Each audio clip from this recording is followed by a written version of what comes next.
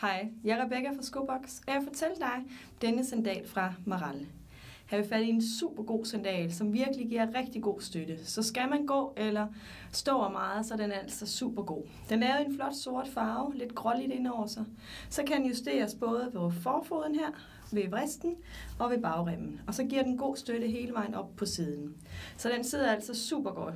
Også hvis man har en smal fod, så kan den her altså godt strammes helt til.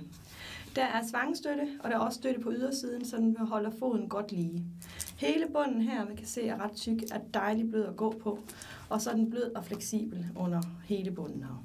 Der er også et rigtig godt grip på den, så man står ordentligt fast, hvis man er ude i lidt løst terræn. Har du lyst til at vide mere om sandalen, så spørg mig eller kig forbi.